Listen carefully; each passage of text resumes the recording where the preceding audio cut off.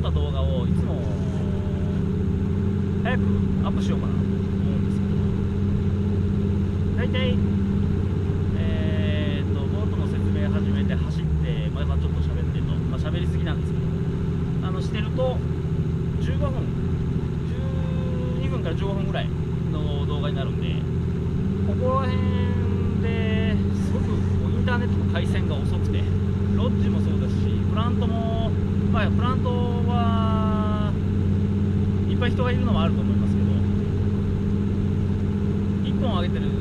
トライトンの 20TRX の動画を上げるのに1時間半ぐらいかかったんですね。もうそのまま携帯電話も置きっぱなしでほっといたんですけど1時間経ってみてもまだ上がってなくて。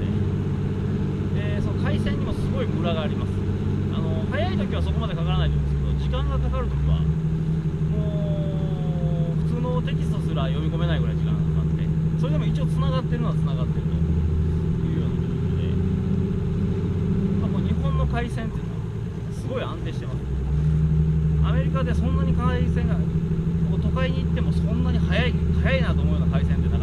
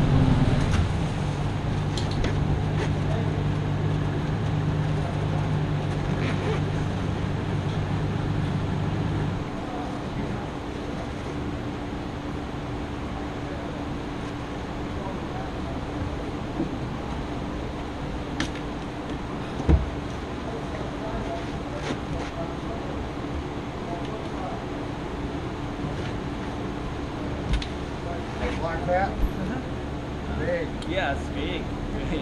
Very easy to drive. There'll be plenty of room for everybody in here.